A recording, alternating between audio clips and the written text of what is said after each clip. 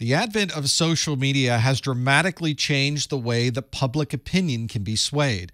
This might be a completely legitimate person who's trying to present a particular political perspective or a social issue, but this might also be someone trying to manipulate how people are thinking in a particular area.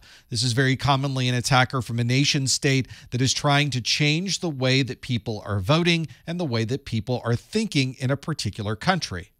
Sometimes these bad actors will spend a lot of money on advertising as a way to change the opinion of people who may be reading things online. Some of the most powerful influence campaigns use more than just a single person posting on social media. They use an entire system to amplify that message and get it into the eyes and the ears of many people.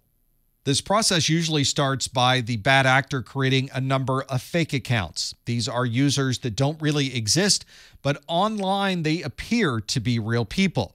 These fake users now start creating content and they start posting this content on many different sites. So you could be on LinkedIn, Twitter, Facebook, and many other places online and start to see the content that is being created by these individual users. By putting this message in many different places online, it amplifies the effect and the scope of who's able to read these messages. And once real people start to see this content, they start sharing it to other people that they know.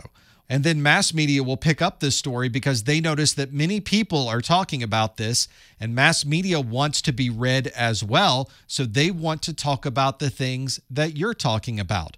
All of these now work together to start from what was a completely fake user suddenly having a message appear on the standard media that we tend to trust day to day. These influence campaigns can also have a military reason for existing. You might have one country that is trying to change the way that people are thinking in another country. And if people change the way they're thinking, then they'll ask their elected officials to vote on particular policies in a particular way. This is not a new process. Militaries all over the world have tried to make this happen in different countries, but the internet changes the way that they're able to get that message out. We often refer to this type of warfare as cyber warfare. It's not happening on a military battlefield, but instead is happening on the internet. Militaries that use these techniques are able to influence elections. They're able to change the type of news that we receive, and it changes how these particular countries are able to interact with other countries around the world.